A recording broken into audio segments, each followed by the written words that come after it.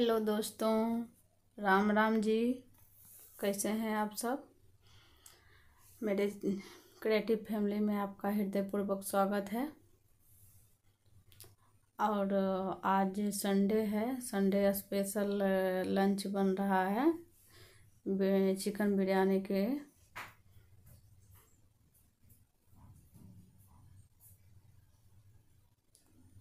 ये या फिर अंतिम साल का बोल लीजिए या फिर थर्टी वन लास्ट डे वही, बस वही स्पेशल है। और आज बिरयानी बना रहे हैं तो आज बिरयानी का रेसिपी शेयर कर रही हूँ। प्याज और सबको काट कर लिए हैं, टमाटर जो मिर्ची, अदरक, लहसुन का पेस्ट तैयार कर लिए हैं। उसके बाद चावल चढ़ा दिए हैं भगोने में। चावल में वही हम लोग इसमें तो थोड़ा ज़्यादा पानी डालते हैं और फिर चिकन को धो कर के लिए हैं। चिकन धो कर के उसमें दही, मिर्ची पाउडर, धनिया पाउडर और हल्दी पाउडर मिक्स करके जीरा पाउडर वगैरह सब उसी में हम सूखा मसाला ऐड कर दी हूँ और इसको मिला करके थोड़ा नमक भी डाल दी हूँ और इसको थोड़ा देर के लिए छोड़ दूँ मैं। कम से कम दस से पंद्रह मिनट के लिए हम इसको ढक कर के छोड़ दिए तब तक इधर हम ते, ये प्याज को फ्राई कर लेती हूँ। थोड़ा प्याज को हम फ्राई किए हैं और थोड़ा पीस के लिए हैं पेस्ट बना करके। और प्याज और टमाटर, अदरक, लहसुन, हरा मिर्च, उसको हम पीस लिए हैं थोड़ा। और इसको हम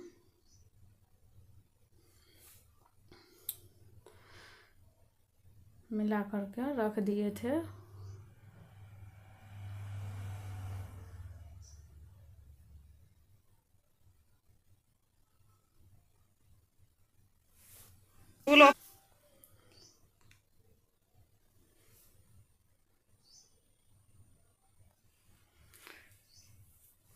प्याज प्याज मेरा हो गया है। उसी तेल थोड़ा सा तेल बचा हुआ था और उसमें ही तेल ऐड करके उसी में डाल दिया है तेल। तेल बहुत कम हम डाल रहे हैं, उतना तेल हम यूज़ नहीं करते हैं, इसलिए बहुत कम कर रहे हैं, क्योंकि इसमें वैसे भी तो घी डालेंगे, इसलिए थोड़ा कम ही डाल रहे हैं। वैसे हम तेल कम यूज़ कर रहे हैं इस समय, इसलिए और उसी में तेज़पत्ता खड़ा मसाला जो होता है, ये दालचीनी और जीरा, लौंग, इलायची, यही सब डाले हैं तेज़पत्ता बस।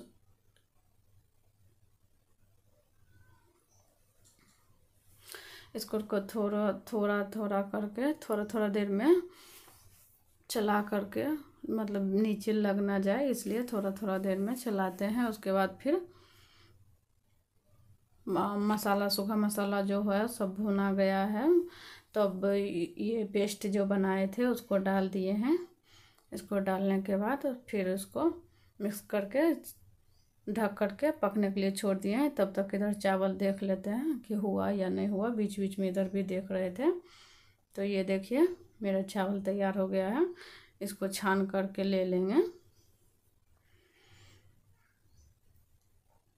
ये जाली वाला करछे है, उसी के सहायता से हम छान लेते हैं। और उसके बाद, ये देखिए मेरा चिकन कैसे फट फट गया है, हो गया। है वैसे भी, उसमें भी थोड़ा बहुत सौंधा आ जाएगा, इसलिए ये मेरा घर का पुदीना है। पुदीना, घी, प्याज कलर और ये चिकन, सॉरी, बिरयानी मसाला ले ली हूँ। उसके बाद हम देख रहे हैं, हुआ या नहीं हुआ, लेकिन ये देखिए, देख सकते हैं। ये छोड़ दिया है, हड्डी को छोड़ दिया है अच्छा से पक गया है। तो अब इसमें हम दम लगाने के लिए भगोने में घी डाल के थोड़ा सा घी डालें नीचे भी, उसके बाद चिकन का पीस उसमें डाल देंगे। फिर एक लेयर और उसके बाद चावल डालेंगे। फिर बीच में भी हम डालेंगे क्योंकि मेरा थोड़ा ज़्यादा हो रहा है। अपना हिसाब से कम ज़्यादा बना सकते हैं।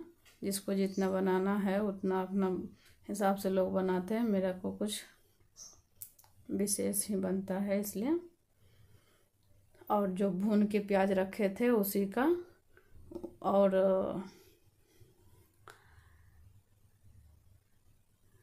क्या बोलते हैं, ये धनिया धनिया पत्ता कट करके लिए थे और उसको बस लेयर बाय लेयर सबको मिक्स करके हम डाल रहे हैं, देख रहे फिर चावल एक, दो या तीन लेयर करके हम डाल रहे हैं।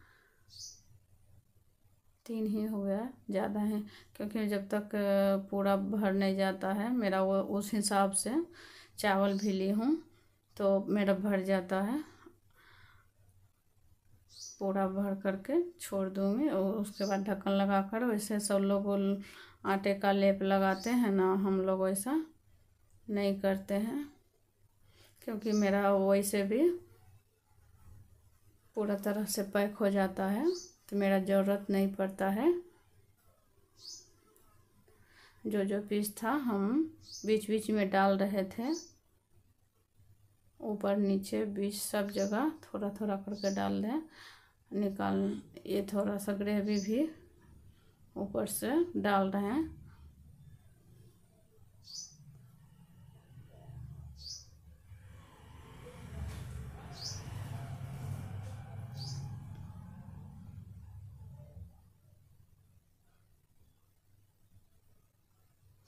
हम तीनों कलर का यूज़ किए हैं, लाल और ऑरेंज और ग्रीन तीनों का इस्तेमाल किए हैं। ऐसे देखने में अच्छा लगता है कलरफुल रहता है तो। इसलिए हम तीनों का यूज़ किए हैं।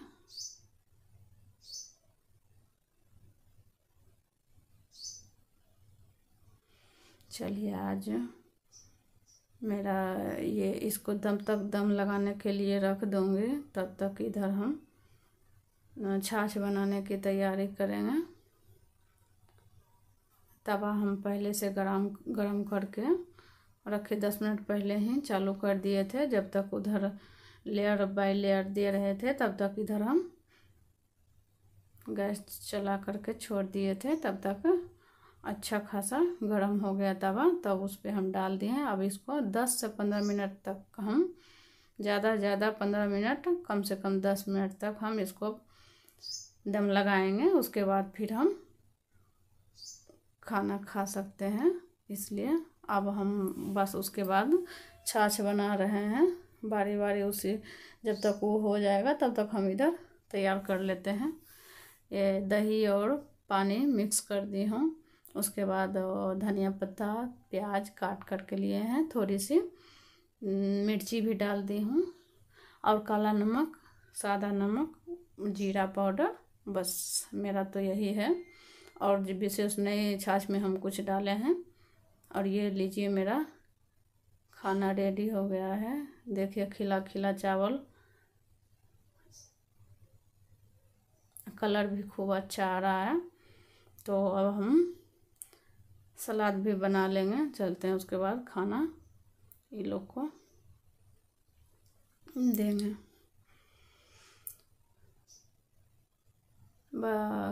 ये सलाद में हम ये टमाटर और प्याज मूली लिए हैं।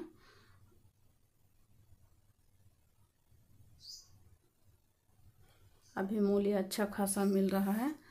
तो आज का ब्लॉग यहीं तक का था। अगले ब्लॉग में फिर मिलेंगे तब तक के लिए